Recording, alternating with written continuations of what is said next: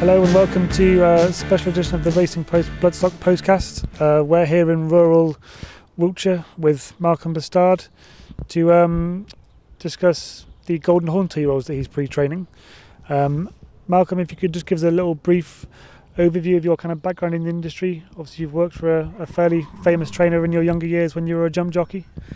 Um, well, ever since I was a small boy, I've always been um, in love with horses. Um, and then I was lucky enough to get a job with Fred Winter for a number of years when he had a lot of good horses there. Um, and I watched some very clever people, Brian Delaney, who was his head lad, and John Francome was the first jockey there. And obviously, Mr. Winter was a, a champion trainer eight times. He was Yeah. uh, mar- uh, absolutely marvellous to work for. Which kind of horses were there when you were there? Uh, Pendil, Bula, Lanzarote, Crisp, the dealer, some you know very nice horses.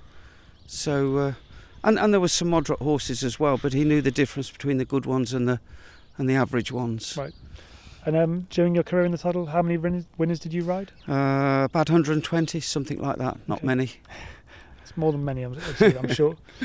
Um, and then towards the end of your riding career, you moved into selling breeze up horses. Just basically pin hooking, yeah, and, and I pin hooked for just just pin hooked alone, buying and selling for about 15 years, and and then we started to take a odd horse to pre-train that we was asked to take, and um, the, this business has developed from there. Yeah. And so, how long have you been involved in the breezers and the pre-trainers? And Uh, probably probably 30 years, nearly 30 years doing the breezer horses, and probably pre-training for um, maybe 18, 18, 19 years, something like that.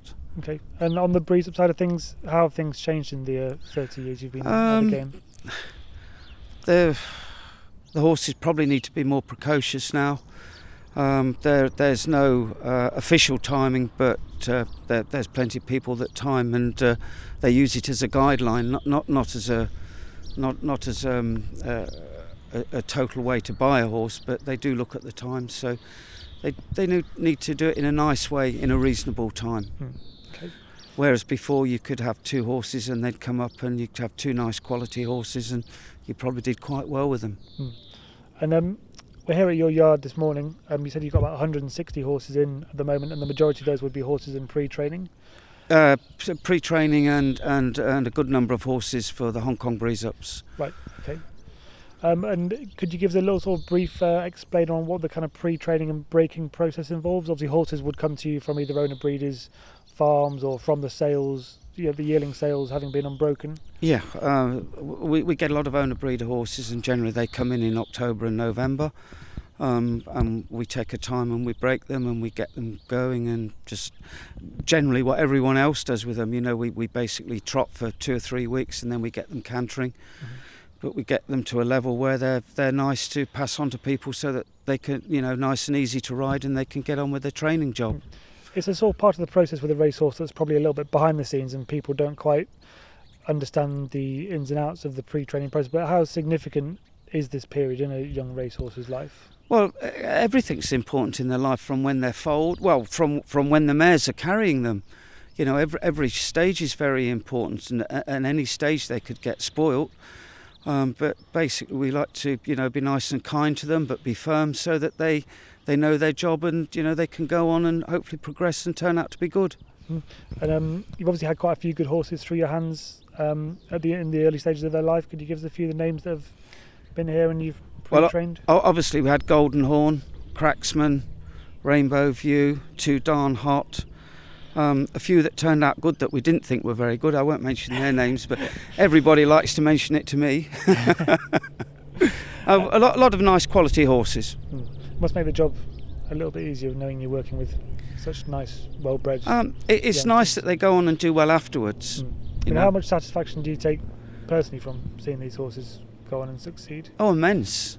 Yeah. Absolutely immense. You know, it's it's what everybody's aiming for. They're they're aiming for quality horses that um, you know can go to the nice meetings and, and, and win the nice races. Okay, and you mentioned Golden Horn there. He's obviously particularly timely given that his first two-year-old's going to be hitting the track um, this year. What can you remember of him when he was around here? And what kind of time of year did he come to you? He- Any particular characteristics? That he- well, he, he he was very straightforward. He was he came to us after the October sales. He was just a nice quality, solid horse that cantered away really well. Obviously, he went on to be a phenomenal racehorse, winning Arc, an Arc, a Derby, uh, an Eclipse. Was there any indication of how good he would be when he was here with you? I, would like to say I knew all of that, but I didn't. he, he, was just a very nice quality horse with a very good temperament that moved extremely well, mm. uh, and and he ticked most of the boxes. Yeah. Um, and obviously, you've got a good number of his two-year-olds here with you now. Um, are there any similarities you're seeing in his progeny as you saw in him? Oh, most certainly. You know, they're they're they've got good bone, very good conformation. Um, they're sensible horses, good temperaments, but alert. Um, they they appear to have a bit of pace. Uh, the level that we're doing with them at the moment, they you know they've got a bit of pace and and they'll relax after work and they'll eat.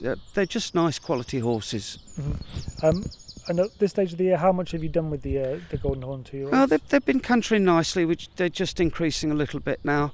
I mean, he, he was he only ran once at two year old and he broke the track record at Nottingham. Um, you know, hopefully they're going to be nice back end horses and yeah. extremely good three year olds next year. So you'd expect them to follow a similar sort of path to the one he trod? Uh, that's up to the trainers, but you know, y- you'd like to see him have a, a number of nice winners at the back end, yes. Okay, very good. Right, well, thank you very much for sharing your thoughts with us, Malcolm, and thank you for showing us around your beautiful yard and showing us all these fantastic horses, and all the best for the future. Thank you, it's a pleasure.